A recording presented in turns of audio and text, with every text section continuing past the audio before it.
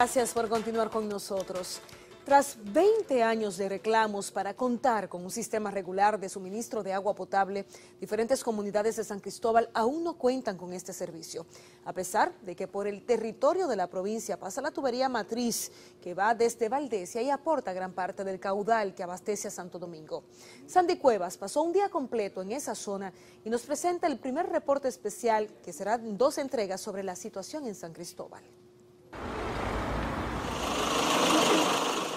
Además de agua potable, los municipios de San Cristóbal piden arreglos de sus calles principales, caminos vecinales, adecuación del tendido eléctrico y la creación de dispensarios médicos para sus respectivas comunidades.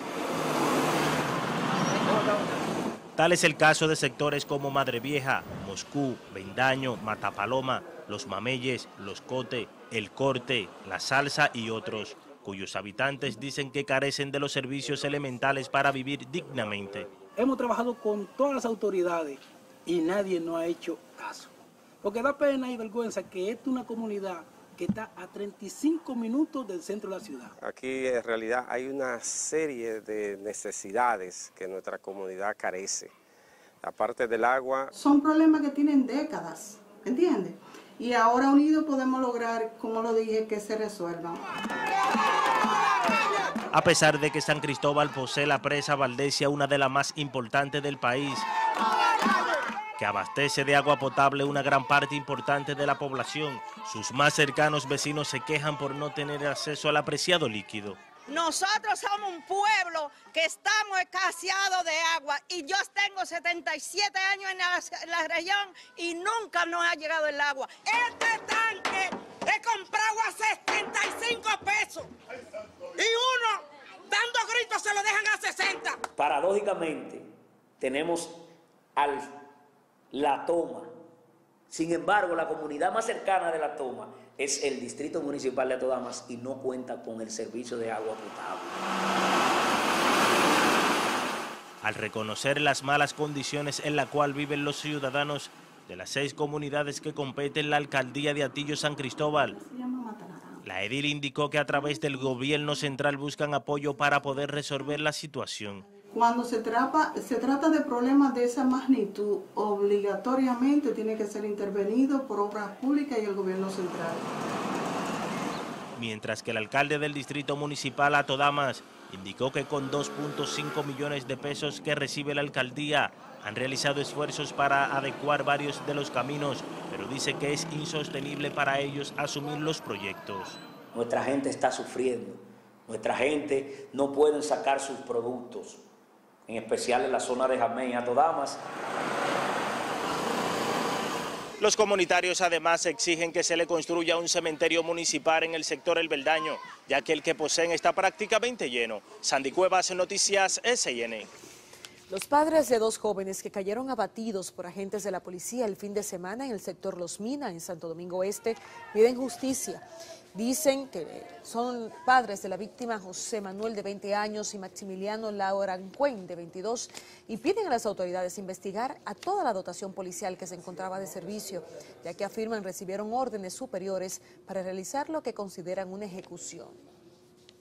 Estamos haciendo un llamado a las autoridades competentes que nos ayuden a formalizar la investigación desde a fondo, porque hay varias acusaciones que son incorrectas en este caso. Ellos acusan a los hijos de nosotros de algo que ellos nunca fueron y no han hecho. Nosotros conocemos a nuestros hijos. Que se haga justicia por mi hijo, al que disparó y al que dio la orden, tira a matar.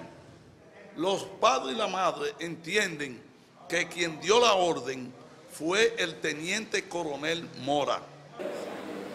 El hecho sucedió alrededor de la una de la madrugada el pasado domingo en la calle Puerto Rico, esquina San Vicente de Paúl, en Santo Domingo Este.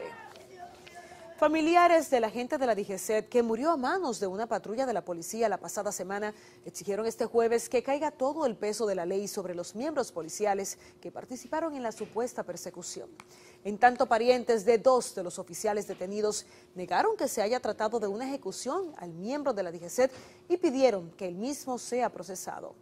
No debiera ni siquiera solicitarle medidas de coerción al coronel porque no tiene participación penal en este hecho, no disparó, no ordenó disparar. ¿Cómo es posible, cómo es posible que se le quiera dar un matiz diferente al real, se cometió un asesinato.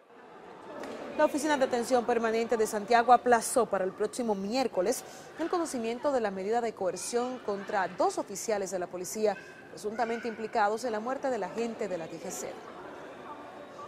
En Puerto Plata, desconocidos balearon la madrugada de este jueves los vehículos del director de la emisora La Calle, Ángel Rafael González, quien además es locutor en la estación radial. Indicó que él y su familia dormían cuando escucharon los disparos, sin imaginar que el ataque estuviera dirigido a su residencia. Cuando nos levantamos esta mañana, pues fue que nos dimos cuenta de que nuestros vehículos habían sido tiroteados. Eh, eh, dos vehículos que estaban en la, en, la, en la, calle y mi vehículo que estaba en la, en la marquesina. Según nuestro corresponsal, Eden Domínguez, las autoridades de la provincia realizan las investigaciones para determinar el origen del ataque.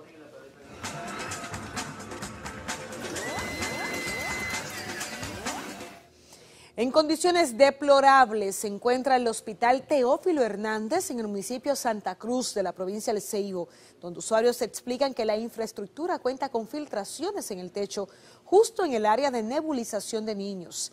Piden a las autoridades la pronta solución de este problema. Lleno de lodo, sin luz y sin asfalto, se encuentra la comunidad de los Aguayos, del Distrito Municipal Antonio Guzmán Fernández en San Francisco. Agricultores se reprocharon que sus productos se están perdiendo porque debido al mal estado de la, de la calle, ni los caballos pueden entrar a recogerlos. Usted puede mandar sus casos y denuncias a este número, el 809-535-8383. Conviértase en un Casa Noticias. Y vamos ahora a la pregunta de Twitter. ¿Cree usted que se logrará el pacto propuesto a las fuerzas políticas para hacer una reforma a la Constitución? Vamos a ver algunos comentarios, iniciando con Fernando de la Cruz. Lo malo de las reformas constitucionales es que siempre son en beneficio de la clase política. Armando Frías. Lo dudo, la oposición política del país no está de acuerdo, por lo que supongo se caerá la reforma. Yari Martínez, el tema es que la gente cuando le hablan de modificación a la Constitución, seguido lo asocia con reelección. Pero ahora no sería el caso porque el actual presidente no tiene impedimento para aspirar en el 2024. Las modificaciones a la Carta Magna irían en otros aspectos. En otro aspecto, vamos a leer la última, la de Pedro Tavares.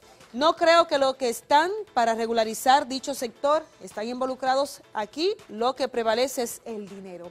Hay más comentarios interesantes. Utilizando la etiqueta Opínese en Twitter, puede ingresar, leerlos y también ser parte de la conversación. Vamos ahora a una breve pausa, no se pierdan. Explosión deja al menos tres muertos y varias viviendas destruidas.